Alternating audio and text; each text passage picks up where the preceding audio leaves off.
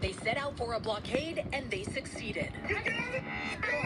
A day of massive disruption on Bay Area roads by pro Palestinian protesters.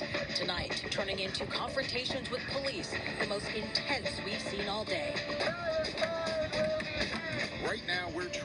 Day of action from ripping down fences outside Tesla to stopping traffic on 880 in Oakland and trapping drivers for hours on the Golden Gate Bridge. I'm feeling pretty frustrated. We just trying to get you home, man, or work. Everybody just mad. Plus, a pastor deeply involved in the South Bay community now charged with sexually assaulting a child.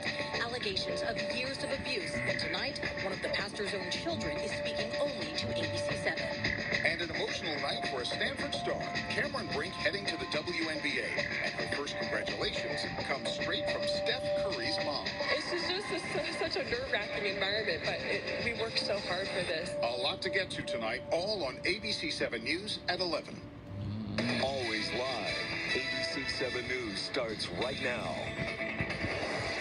And we begin tonight with the protests across the Bay Area. The last one wrapping up just hours ago with police firing pepper balls. Good evening. I'm Ama Daetz. But I'm Dan Ashley. Thanks for joining us. Now, these gatherings were not massive in attendance, but they had a huge impact. The CHP arrested 38 people tied to the first round of protests this morning.